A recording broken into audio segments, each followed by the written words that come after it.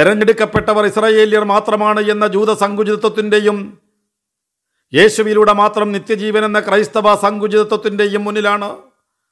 സകല ദൂതന്മാർക്കും അവതീർണമായവയിൽ മുഴുവൻ വിശ്വസിക്കുക എന്ന എല്ലാവർക്കും സ്വീകാര്യമാവേണ്ട തത്വം ഖുർആൻ പ്രഖ്യാപിക്കുന്നത്.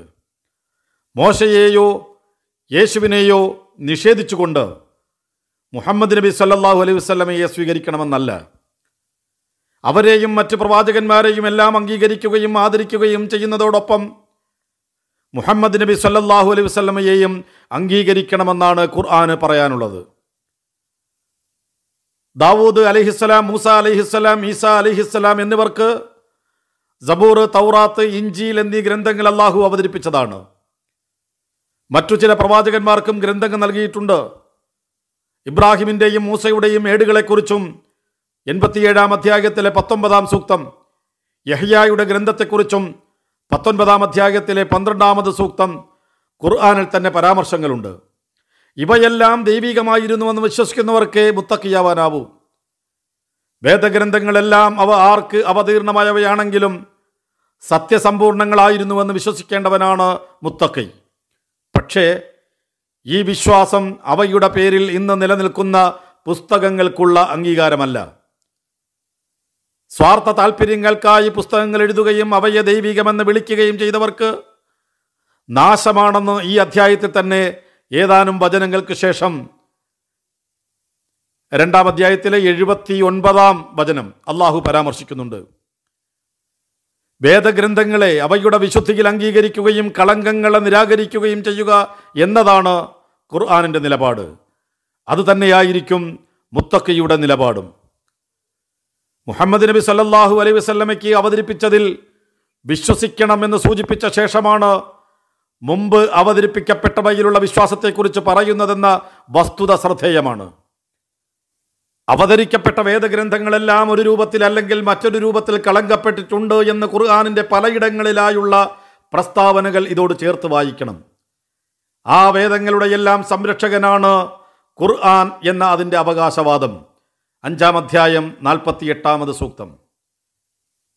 ആ അവകാശവാദം ശരിയാണെന്ന് വേദഗ്രന്ഥങ്ങളായി അറിയപ്പെടുന്നവയും ഖുർആാനും തമ്മിൽ താരതമ്യം ചെയ്താൽ ബോധ്യമാകും. മനുഷ്യരുടെ കരങ്ങളാൽ വേദഗ്രന്ഥങ്ങളിലെ വരികൾ മാത്രമേ തിരുത്തപ്പെട്ടിട്ടുള്ളൂ. അവയിലെ അടിസ്ഥാനാശയങ്ങളെല്ലാം ഖുർആാനിലൂടെ സംരക്ഷിക്കപ്പെട്ടിരിക്കുന്നു. ഖുർആാനിന്റെ കണ്ണടയിലൂടെ നോക്കിയാലാണ് അവയിലെ നെല്ലും പതിരും വേർതിരിക്കാൻ കഴിയുക. അവയിൽ ഖുർആാനുമായും നബിവചനങ്ങളുമായും യോജിച്ചു വരുന്നവയുണ്ട്. അവയെല്ലാം സ്വീകാര്യമാണ്. അവ സത്യസന്ധമാണെന്ന് അംഗീകരിക്കുന്നവനാണ് മുത്തക്കി. അവ രണ്ടിനോടും എതിരായ പരാമർശങ്ങളും വേദങ്ങളുടെ പേരിൽ അറിയപ്പെടുന്ന ഗ്രന്ഥങ്ങളിലും ഉണ്ടാവാം. അവ നിരാകരിക്കുവാൻ മുത്തക്കിയുടെ പൂർവവേദങ്ങളിലുള്ള വിശ്വാസം അവന് തടസ്സമാവുന്നില്ല.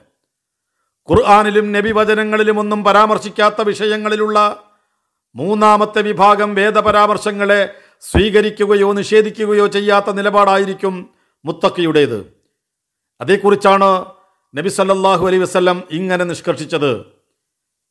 ബുഖാരി ഉദ്ധരിക്കുന്ന ഹദീസ് വേദക്കാർ സംസാരിക്കുന്ന കാര്യങ്ങളിൽ നിങ്ങളവരെ സത്യമാക്കുകയോ കളവാക്കുകയോ ചെയ്യാതെ ഞങ്ങൾക്ക് ഇറക്കപ്പെട്ടതിലും നിങ്ങൾക്ക് ഇറക്കപ്പെട്ടതിലും ഞങ്ങൾ വിശ്വസിച്ചിരിക്കുന്നു എന്ന് മാത്രം പറയുക. അന്ത്യനാളിൽ ദൃഢബോധ്യമുള്ളവരായിരിക്കുമെന്നതാണ് മുത്തക്കികളുടെ ആറാമത്തെ സവിശേഷത. വൈബിലുള്ള വിശ്വാസത്തിന്റെ ഭാഗം തന്നെയാണ് അന്ത്യനാളിലും പുനരുത്ഥാനത്തിലും സ്വർഗനരകങ്ങളിലുമെല്ലാമുള്ള വിശ്വാസം. എന്നിട്ടും എന്തേ ഇവിടെ പ്രത്യേകമായി അന്ത്യനാളിലുള്ള വിശ്വാസം എടുത്തു പറയാൻ കാരണം? അന്ത്യനാളിൽ വിശ്വാസമുള്ളവരായിരിക്കുമെന്നല്ല മുത്തക്കിയുടെ സവിശേഷതയായി എണ്ണിയിരിക്കുന്നത് എന്നാണ് അതിനുത്തരം. ഇതുവരെ പറഞ്ഞിരുന്നത് വിശ്വാസമായിരുന്നു. ആഹ്റത്തിൽ വിശ്വാസം മാത്രമല്ല യക്കീനുമുള്ളവരായിരിക്കും മുത്തക്കികൾ എന്നാണ് ഖുർആാനിന്റെ പ്രയോഗം. യാ കാഫ് നൂൻ അക്ഷരത്രയങ്ങളിൽ നിന്നാണ് യക്കീൻ ഉണ്ടായിരിക്കുന്നത്.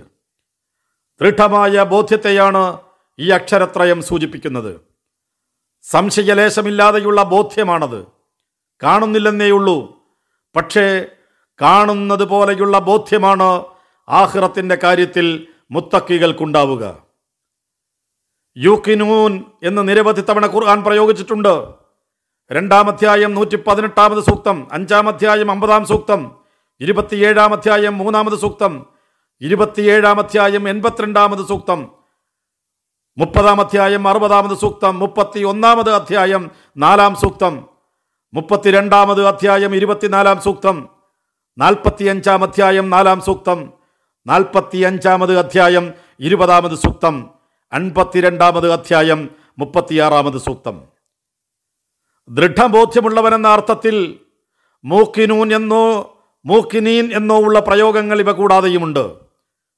മുപ്പത്തിരണ്ടാമത് അധ്യായത്തിലെ പന്ത്രണ്ടാമത് സൂക്തം ആറാമത് അധ്യായത്തിലെ എഴുപത്തി അഞ്ചാമത് സൂക്തം ഇരുപത്തിയാറാം അധ്യായത്തിലെ ഇരുപത്തിനാലാം സൂക്തം നാൽപ്പത്തിനാലാം അധ്യായത്തിലെ ഏഴാമത് സൂക്തം അൻപത്തിയൊന്നാമത് അധ്യായത്തിലെ ഇരുപതാം സൂക്തം.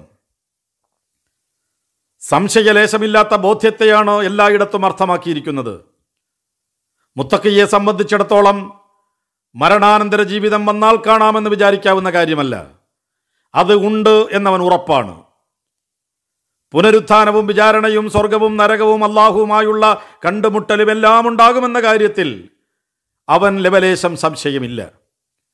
മരണാനന്തര ജീവിതമുണ്ടെങ്കിലും ഇല്ലെങ്കിലും നമുക്കിവിടെ നല്ല നിലയിൽ ജീവിക്കാം. ഉണ്ടെങ്കിൽ രക്ഷപ്പെടാമല്ലോ ഇല്ലെങ്കിലും നഷ്ടമൊന്നുമില്ലല്ലോ എന്ന ചിന്തയുടെ ലാഞ്ചന പോലും അവനുണ്ടാവുകയില്ല പരലോകമുണ്ടോ എന്ന് ശങ്കിക്കുന്ന ഒരു നിമിഷവും അവനിലുണ്ടാവുകയില്ല ആ ഉറപ്പാണ് അവന്റെ ജീവിതത്തെ പ്രകാശമാനമാക്കുന്നത്.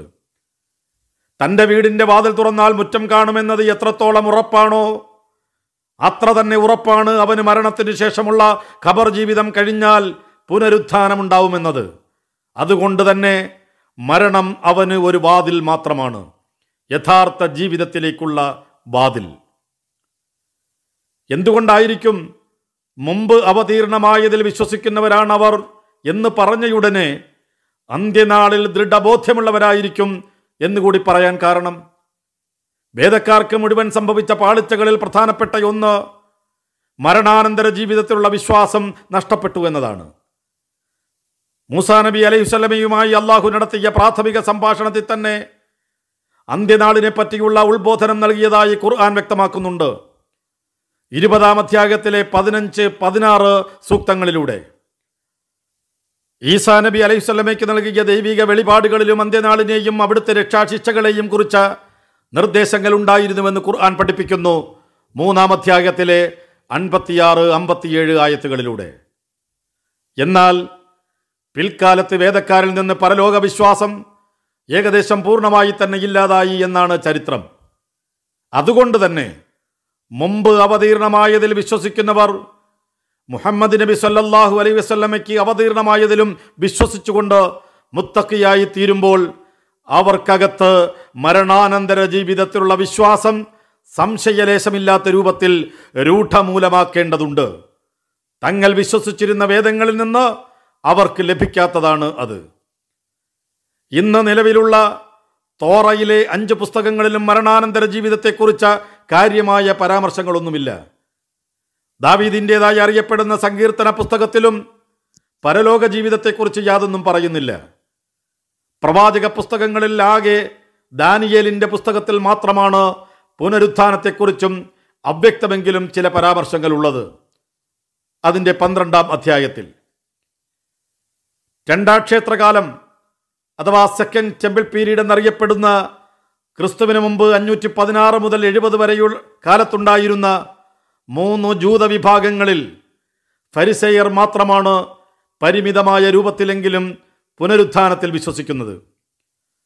സദൂക്യന്മാരും എസ്സേനിയന്മാരും അത്തരം വിശ്വാസങ്ങളുള്ളവരായിരുന്നില്ല.